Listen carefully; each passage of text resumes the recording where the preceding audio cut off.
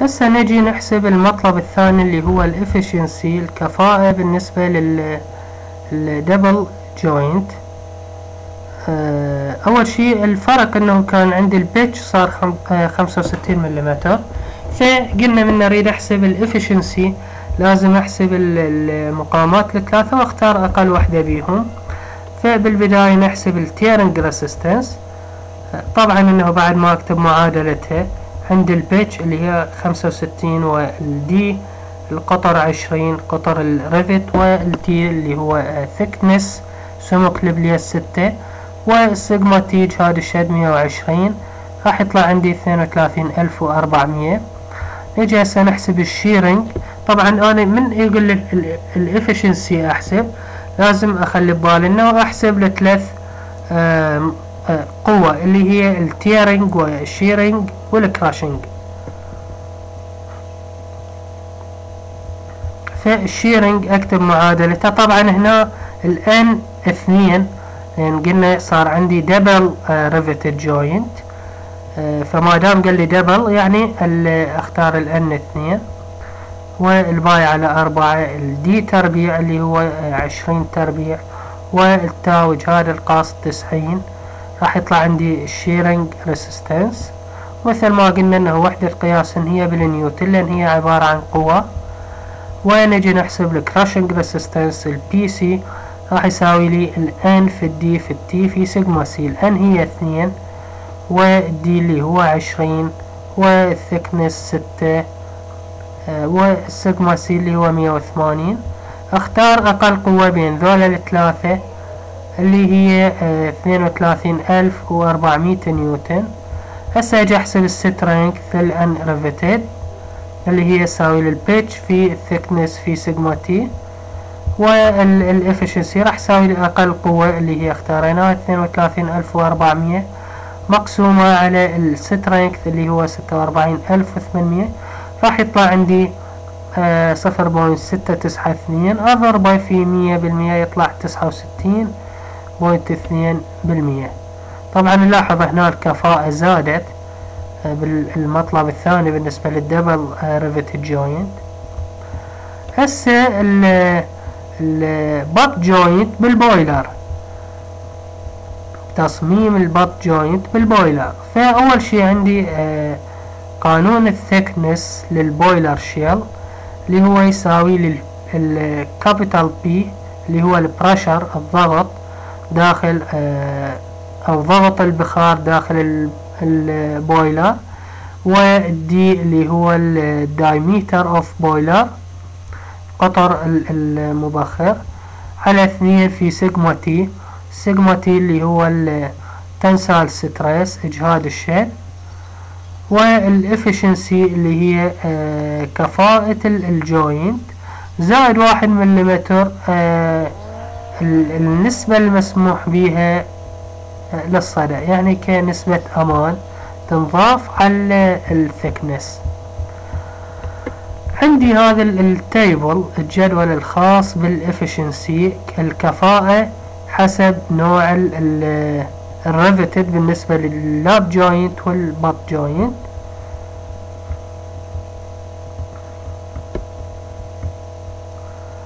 عندي ال table تسعة اثنين خاص بال ال factor of safety معامل الأمان لل boiler joint وحسب طبعا الكل نوع لل lap joint أه حسب يعني أنواع ال single وال double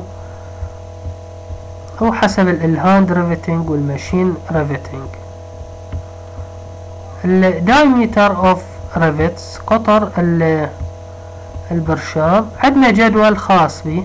طبعا هاي قاعد نحكي إحنا كتصميم آه بالنسبة لل boiler ك boiler آه عندي هذا ال table الأول خاص بال آه أقطار ال rivet والحقل الثاني خاص بال standard الأقطار القياسية.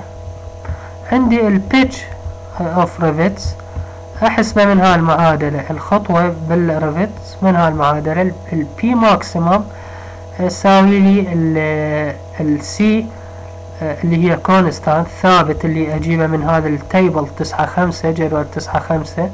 طبعا يعتمد على نوع ال joint إذا كان lap أو butt joint وال t اللي هو thickness سمك ال shell plate. والنسبة هاي الثابتة اللي هي واحد وأربعين point ثمانية وعشرين.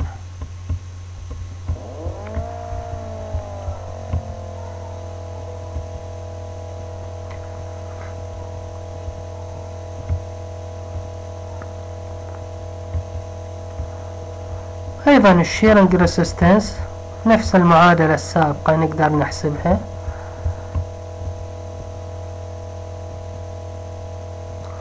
وعندي هنا ال WS اللي هي آه، خاصة بال آه، يعني القوة القوة اللي ينتجها ضغط آه، البخار على جدران ال steam اللي هي تساوي لي pi على أربعة في ال D تربيع في ال P ال pressure أساويها ويا قوة القص وراح تطلع عندي هاي المعادلة الأخيرة.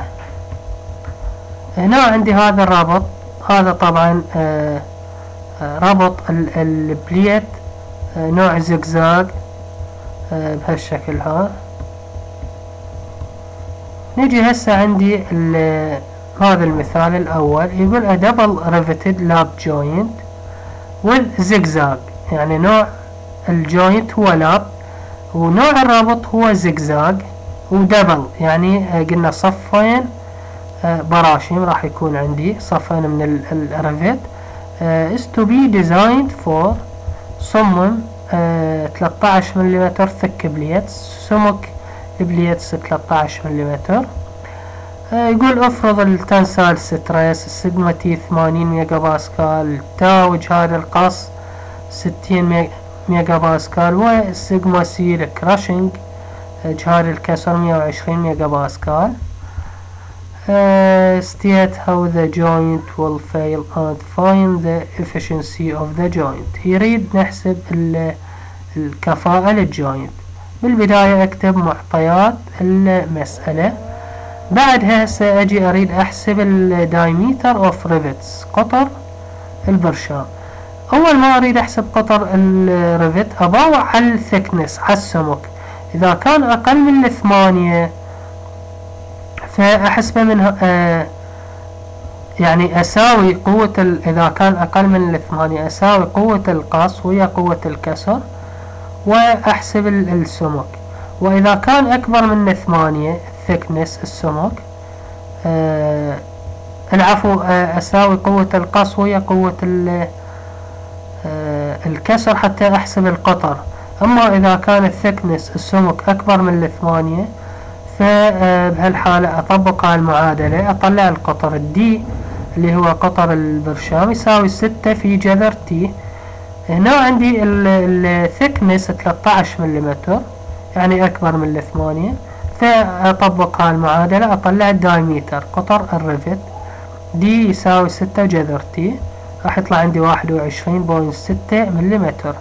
أروح لل table تسعة ثلاثة. وأشوف أنه القطر القياسي ما عندي أنا واحد وعشرين point ستة عندي ثلاثة وعشرين فأختار الثلاثة وعشرين مليمتر.